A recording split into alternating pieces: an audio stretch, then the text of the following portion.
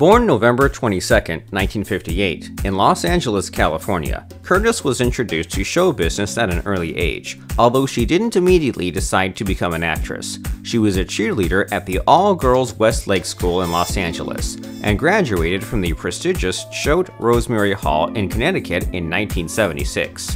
Following a semester at the University of the Pacific, Curtis was convinced to audition for a role as teenage detective Nancy Drew, Although she didn't get the part, she soon dropped out of school to pursue acting.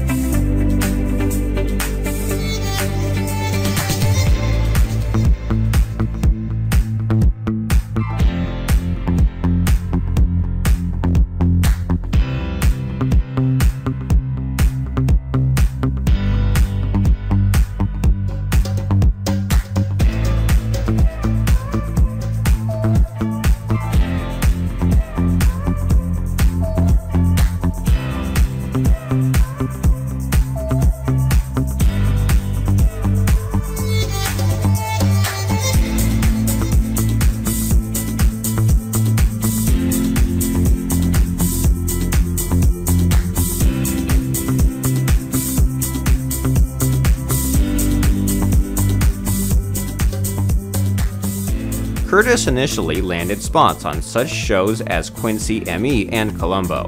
She even earned a role on the short-lived military comedy Operation Petticoat, which was based on a 1959 film that starred her father. Curtis' real breakthrough came in 1978, when she starred in John Carpenter's classic horror flick Halloween. The unexpected success of this film led to more work in the horror genre, including Prom Night, 1980, The Fog, 1980, and Halloween 2, 1981, and resulted in the actress becoming known as the Scream Queen. On the small screen, Curtis showed her dramatic talents in Death of a Centerfold, the Dorothy Stratten story, 1981. She played the title character, a Playboy model who died at the hands of her abusive and controlling husband. Curtis also displayed her comic chops in the 1983 hit film Trading Places with Dan Aykroyd and Eddie Murphy. Her portrayal of a soft-hearted hooker helped take her career to a new level. Curtis landed a number of leading film roles, with decidedly mixed results. She earned positive reviews for Love Letters 1983 and Grandview USA 1984, Perfect 1985. However, proved to be anything but perfection. Starring opposite John Travolta, Curtis played an aerobics instructor in this box office dud.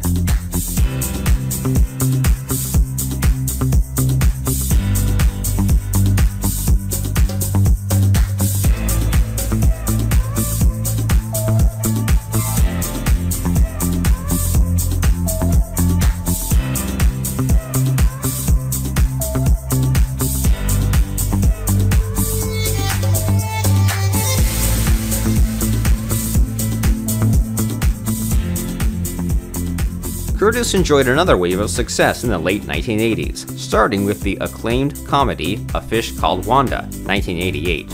She headlined the sitcom Anything But Love with comedian Richard Lewis from 1989 to 1992, earning a Golden Globe Award for her work in 1990. Curtis then showed another side of her acting abilities by taking on the action-adventure genre in True Lies, 1994. She portrayed a suburban housewife unaware that her husband, Arnold Schwarzenegger, is a spy, a performance that garnered her a second Golden Globe victory.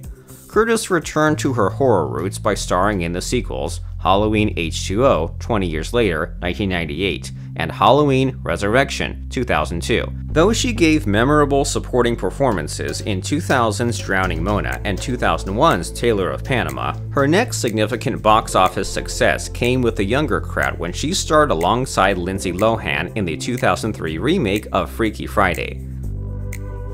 Curtis is one of the few celebrity writers to win over both critics and readers. She has enjoyed tremendous success as a children's book author.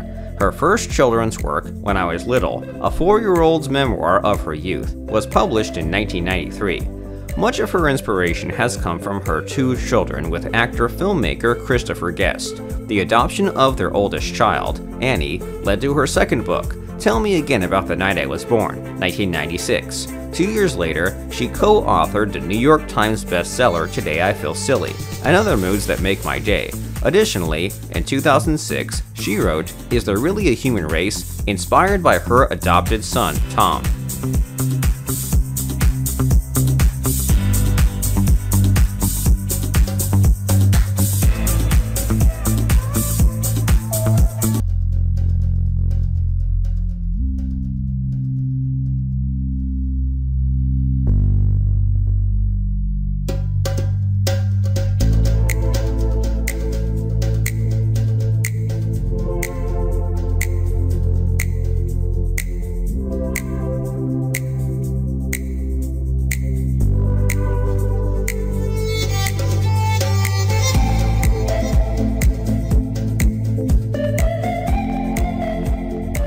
Curtis's screen appearances dwindled after Christmas with the Cranks, 2004, and she primarily became known as the spokesperson for Activia Yogurt for several years. Still, she surfaced for parts in generally light-hearted fare, including Beverly Hills Chihuahua, 2008, and You Again, 2010.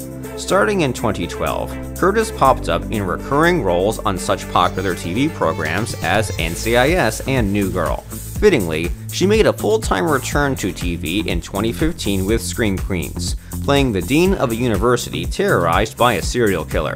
That year, Curtis also starred in Spare Parts, a drama based on the real-life story of four high school students who enter a robotics competition.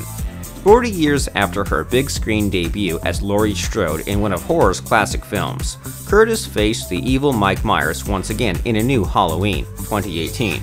This time, the actress said, her character has readied herself to take on her longtime nemesis.